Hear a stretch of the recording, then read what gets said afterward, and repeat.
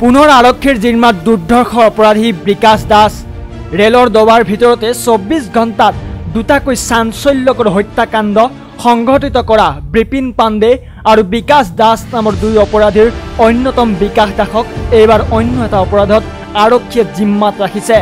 খোল খাইছে এটা পুৰণি গোচৰ। দুহেজাৰ চৈধ্য বৰ্ষৰ পঁচিছ ফেব্ৰুৱাৰীত ৰেলৰ ভিতৰতে এগৰাকী যুৱতীক ধৰ্ষণ কৰি হত্যা কৰাৰ পাছত দুৰ্বৃত্তই পেলাই থৈ গৈছিল তিতাবৰৰ খৰিকটীয়াৰ এটা হাৱৈত অৰ্ধনগ্ন অৱস্থাত উদ্ধাৰ হোৱা যুৱতীগৰাকীৰ পোৱা হোৱা নাছিল কোনো পৰিচয়। শেহতীয়াকৈ কেইটামান দিনৰ পূৰ্বে বিপিন বিকাশে সংঘটিত কৰা নাৰকীয় ঘটনাৰ পিছতেই সেই পুৰণি ঘটনাৰ ফাইল খুলিছে আৰক্ষীয়ে।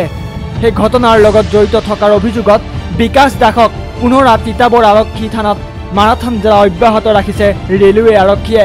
অৱশ্যে তদন্তৰ ক্ষেত্ৰত এতিয়াও কোনো তথ্য বাহিৰ কৰা নাই আৰক্ষীৰ তদন্তকাৰী দলটোৱে। নাই নাই আপোনালোকে সেই বিষয়ে এতিয়া একো ক'ব পৰা হোৱা নাই। আমাৰ বৰ্তমান হেৰি চলি আছে।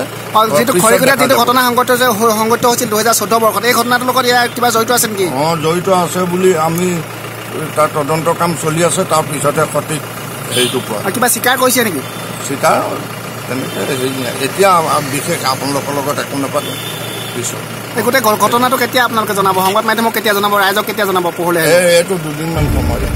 আমাৰ ইফালে ৰেলত সংঘটিত কেইবাটাও ঘটনাৰ ক্ষেত্ৰত পাঁচ দিনৰ বাবে নিজৰ জিম্মাত আনি মৰিয়নিত জেৰা চলাই আছে আনজন অপৰাধী বিপিন পাণ্ডেক ৰেলৱে আৰক্ষীৰ এটা তদন্তকাৰী দলে।